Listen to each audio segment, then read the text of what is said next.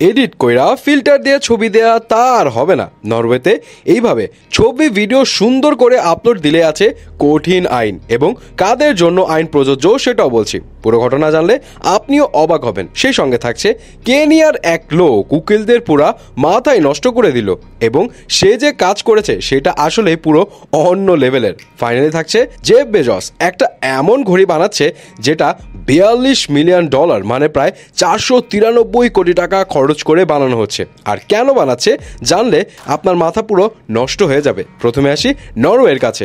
এবার নরওয়ে তাদের দেশে সব অ্যাডভার্টাইজার ইনফ্লুয়েন্সারদের জন্য এমন এক আইন করল যা শুনলে অনেকে অবাক হবেন। আইনটা হলো সোশ্যাল মিডিয়ায় এবং অ্যাডভার্টাইজিং বিলবোর্ডে কিংবা অন্য যে কোনো জায়গায় যখন কোনো মডেল, সেলিব্রিটি কিংবা সোশ্যাল মিডিয়া ইনফ্লুয়েন্সারের ছবি দিয়ে মার্কেটিং করা হবে কিংবা কোনো ইনফ্লুয়েন্সার যখন নিজের সোশ্যাল মিডিয়ায় কোনো ছবি আপলোড করবেন, তাতে যদি কোনো রকম ফিল্টার ইউজ করা হয় কিংবা এডিট করে ফেস, বডি কিংবা স্কিনের কোনো রকম সৌন্দর্য বাড়ানো হয়, তবে সেই ছবিতে লাগাতে হবে একটা ট্যাগ বা লেবেল যাতে লেখা থাকবে এই ছবি এডিটেড। নরওয়ে সরকার এবং সোশ্যাল ওয়ার্কারদের দাবি, সেলিব্রিটি আর ইনফ্লুয়েন্সারদের এডিটেড ছবি আর ভিডিও ইয়াং জেনারেশনের মধ্যে হাই বিউটি স্ট্যান্ডার্ডের প্রেশার তৈরি করছে।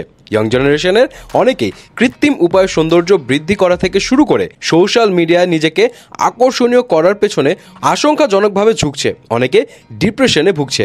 অনলাইন বুলিংয়ের শিকারও হচ্ছে অনেকে। আর তাই এই নতুন আইন, যাতে সবাই বুঝতে পারে যে আসলে এত সুন্দর ছবি যে এটা ফিল্টার দেওয়া হয়েছে কিংবা এডিট করা হয়েছে।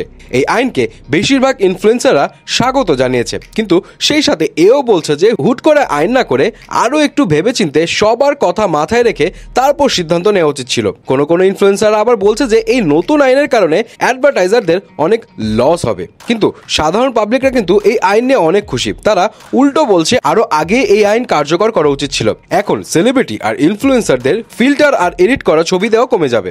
এখন আপনাদের কি মনে হয়, বাংলাদেশেও কি এমন একটা আইন হলে ভালো হয় নাকি? এদিকে, কেনিয়ায় ব্রেন মোয়েন্ডা নামে এক লয়ার তার ওকালতি জীবনে এখন পর্যন্ত টোটাল ছাব্বিশটা কেসের ছাব্বিশটাই জিতেছে। কিন্তু এই ছাব্বিশ নাম্বার কেস জেতার পর তাকে খেতে হলো বিশাল এক ধরা। অ্যাকচুয়ালি তিনি ছিলেন একজন ভুয়া লয়ার সত্যিকারে আসলে তার কোনো লয়ারের ডিগ্রি নেই। ইভেন তার এই ব্রেন নামটাও অন্য আরেক লয়ারের এখন ঘটনা হলো, তিনি তার কেসের প্রয়োজনে ম্যাজিস্ট্রেট জাজেস এমনকি হাইকোর্টে গিয়েও ধরা খাননি। কিন্তু যখন রিয়াল ব্রেন তার নিজের একাডেমিক প্রোফাইল লগ ইন করতে গিয়ে ব্যর্থ হন, তখন তিনি তার ল কলেজকে ব্যাপারটা জানান। আর তখনই বেরিয়ে আসে আসল কাহিনী।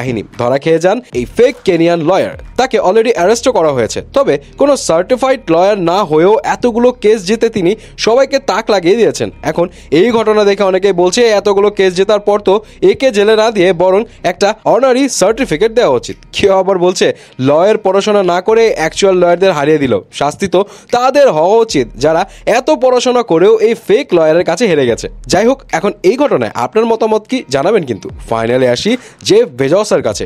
জেফ বেজস এমন একটা ঘড়ি তৈরি করতে যাচ্ছে, যেটা হবে পুরো পাঁচশো ফিট লম্বা। আর এই ঘড়ি তৈরি করা হবে আমেরিকার ওয়েস্ট টেক্সাসের এক পর্বতে। আর এই ঘড়ি চলবে সূর্য আর চাঁদের সাথে তাল মিলিয়ে। আর এই অদ্ভুত ঘড়ির কাটা বছরে ঘুরবে মাত্র একবার।